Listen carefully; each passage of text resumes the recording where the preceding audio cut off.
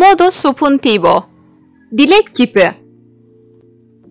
Dilek kiplerinden genel olarak söz edecek olursak, bu kip ile ifade edilmiş eylemler konuşan kişinin öznel yani subjektif görüş açısını yansıtır.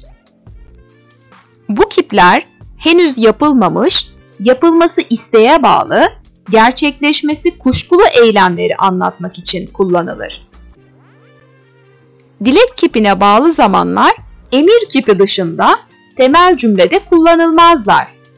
K bağlacı bazı zarf, edat ve deyimler aracılığıyla yan cümleler içinde kullanılarak temel cümledeki eylemi tamamlarlar.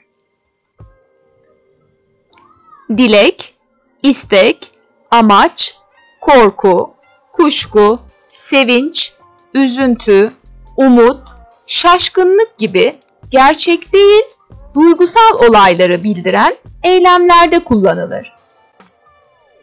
Presente de subjuntivo Dilek kipi şimdiki zaman.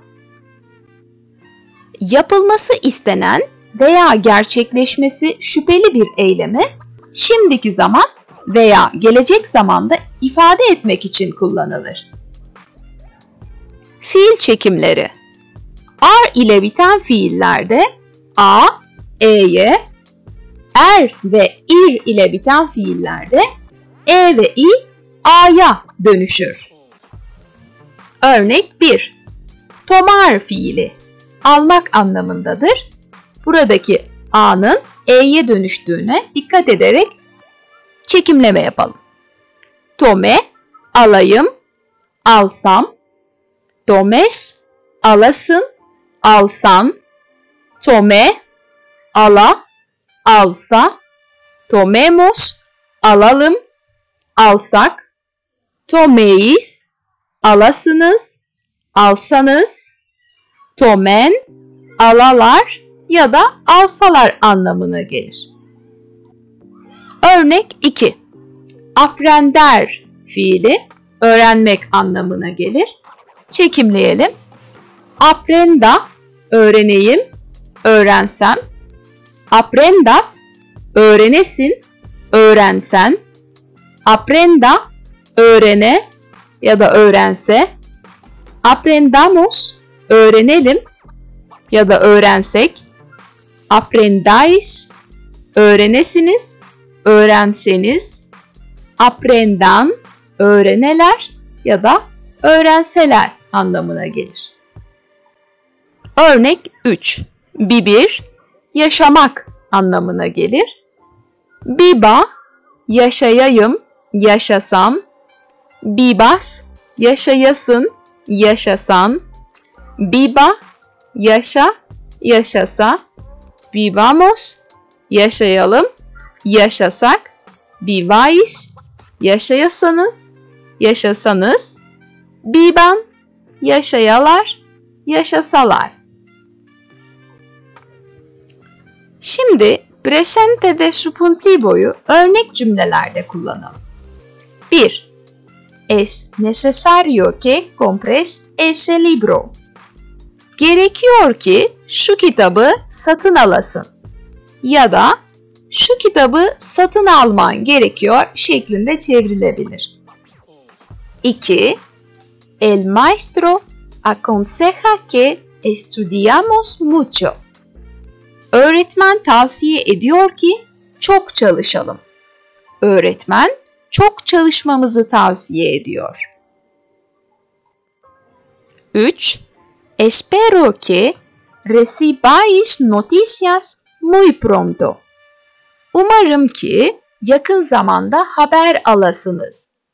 Ya da umarım yakında haber alırsınız anlamı taşır. 4. No es lógico que acepten esta propuesta. Mantıklı değil ki bu öneriyi, öneriyi kabul etsinler. Yani bu öneriyi kabul, kabul etmeleri mantıklı değil anlamında. 5.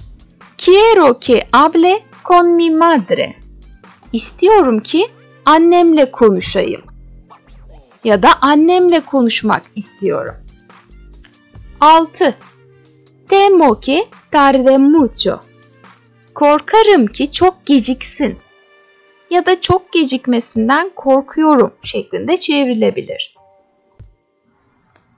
Görüyoruz ki dilek kipinin şimdiki zamanı temel cümledeki fiile bağlı ve onu tamamlar niteliktedir. Bununla birlikte temel cümledeki fiil presente yani şimdiki zamanda, futuro gelecek zamanda veya preterito perfecto yakın geçmiş zamanlarda da olabilir. Örneğin 1. Te prohibo que fumes. Buradaki altı çizili temel cümle presentedir. Yani geniş zamandadır. Sigara içmeni yasaklıyorum anlamına gelir. 2. Te he prohibido que fumes. Altı çizili cümle preterito perfecto'dur. Sigara içmeni yasaklamış bulunuyorum şeklinde çevrilir. 3. Te pre, e, prohibire que fumes futuro yani gelecek zamandaki bir temel cümle verilmiştir. Sigara içmeni yasaklamış olacağım anlamındadır. Dilek, istek ve kuşkularımızı temel cümle olmadan da ifade edebiliriz. Bir başka ifadeyle temel cümleyi gizleyebiliriz. Örneğin, Biba Türkiye, yaşasın Türkiye. Buradaki temel cümle dilerim ki, isterim ki Türkiye yaşasın şeklindedir ama ilk cümle yani temel cümle söylenmemiştir ya da gizlenmiştir. Kayase, susun. İstiyorum ki susasınız şeklinde bir cümle olabilirdi ama temel cümlesi yok. Sadece kayase, susun şeklinde yazılmış. Quizá tengas razón. Belki de hakkın var.